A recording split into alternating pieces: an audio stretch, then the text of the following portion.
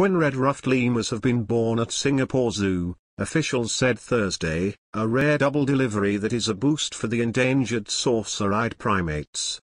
It was the first birth at the zoo of the endangered creatures, which are native to Madagascar, in over a decade, Wildlife Reserves Singapore said. The arrival of the yet-to-be-named twins was particularly special because the creatures breed only once a year, it said. The fluffy lemurs are a distinctive rust color, with black faces, hands, feet and tails, and a distinctive white patch on their heads.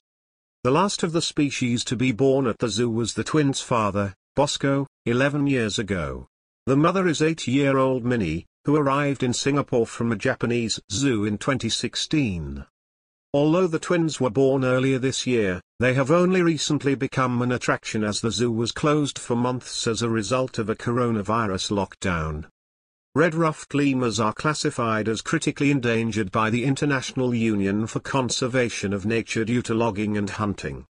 Of the 107 surviving lemur species on Madagascar, some 103 are threatened, including 33 that are critically endangered, the last stop before extinct in the wild, the group said earlier this month.